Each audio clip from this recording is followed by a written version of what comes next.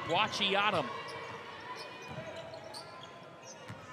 Offensively, Hofstra so dangerous with the screen and roll, the ball screen action.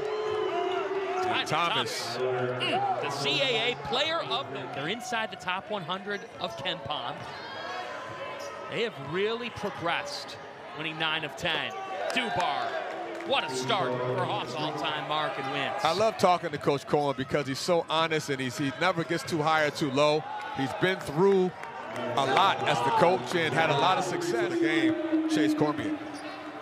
Chase Cormier just averages three points per game, but they're trying some different rotations as Boachiatum, he's gotten off to a really nice start tonight.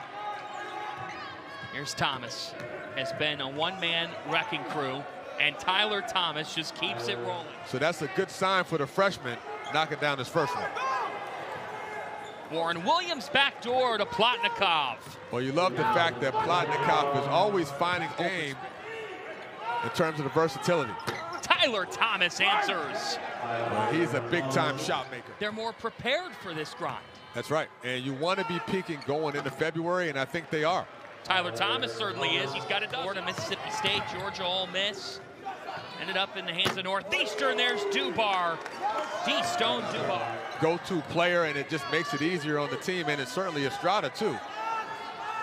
Estrada, there he is. He must have heard. to do that.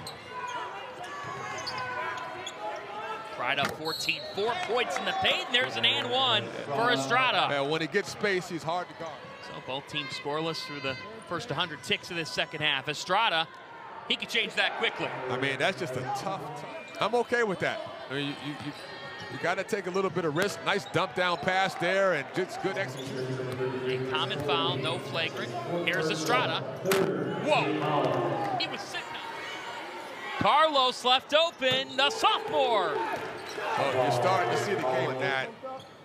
Your team is starting to come together the way you envisioned it. And another nice pass, inside out action. And, when they get to turning it over and making the right decision is another reason why this Hofstra team is so good offensively. Two on the timer. Dagger from Tyler Thomas.